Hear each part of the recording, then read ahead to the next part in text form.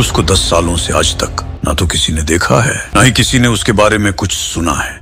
यहाँ तक कि लोग उसका नाम भी लेने से डरते हैं और कोई भी पुलिस वाला उसके खिलाफ केस लेने से भी काँप उठता है। वह कौन है? कहाँ रहता है? क्या करता है? किसी को कुछ भी नहीं मालूम। बस उसका नाम मालूम है क्योंकि लोग उसे बुलाते हैं। बब्बर शेर। हमें उसके बारे में उतना ही पता है जितना एक आम आदमी को पता है। उसके अलावा उसके बाद कोई भी कुछ भी पता नहीं लगा सकता।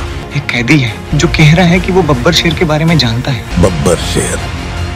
उसके बारे में कुछ नहीं मिला ना। चिंता ना करो साहब, मैं सब जानता है। उसकी पूरी स्टोरी पता है मेरे को, क्योंकि वो मैं ही हूँ, जिसने उसको बब्बर शेर बनाया। साला दो कौड़ी का गुंडा अभी टॉप पे बैठा है।